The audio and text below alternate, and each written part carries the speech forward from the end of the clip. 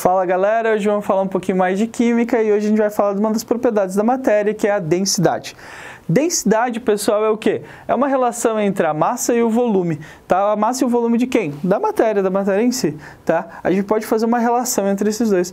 A densidade é o que diz mais ou menos o que é mais pesado ou mais leve. Porque você já parou para pensar, o que é mais pesado, um quilo de pena ou um quilo de chumbo? Na verdade, os dois pesam a mesma coisa, os dois pesam um quilo. Só que concorda comigo quando eu penso um quilo de pena, eu penso muita pena. E quando eu penso um quilo de chumbo, eu penso um pouco de chumbo só, porque o chumbo já é muito pesado. A gente sabe que o chumbo é mais pesado do que a pena. Então é isso que diferencia. A mesma massa pode ter volumes diferentes se for de matérias diferentes, obviamente, né? Então a gente pode fazer uma relação disso. Olha como é que fica essa relação. A relação fica: a densidade vai ser igual à massa total que a gente tem sobre o volume total do que a gente tem. Então pensa, um copo de água, né? Um copo de água que tem 200 ml. Ele vai pesar aproximadamente 200 gramas. A água é a que tem densidade de 1 grama por ml.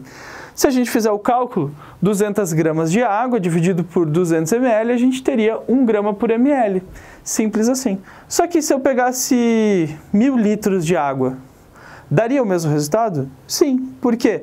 Porque quanto mais volume a gente pega, mais massa a gente está pegando tudo. A gente está pegando junto, porque a gente está calculando o quê? A massa total sobre o volume total. Então, a densidade de mil litros de água e de 100 ml de água é a mesma, tá? Porque a densidade é uma propriedade específica da matéria. Matérias diferentes têm densidades diferentes. E a gente consegue, através dessa densidade, às vezes, identificar um composto, tá? Sabendo a diferença entre densidades, a gente consegue fazer isso. Olha que legal, se você visse uma experiência seguinte, ó, o mesmo líquido, três bolinhas diferentes. Qual delas você acha que é a mais densa? Você já bateu no olho, você já vê que a mais densa seria qual? Essa daqui.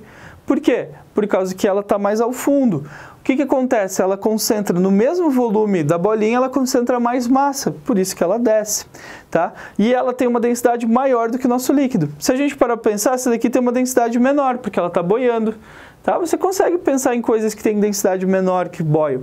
Por exemplo, um pedaço de isopor, ele boia na água. Uma pedra, ela afunda, porque as densidades são diferentes.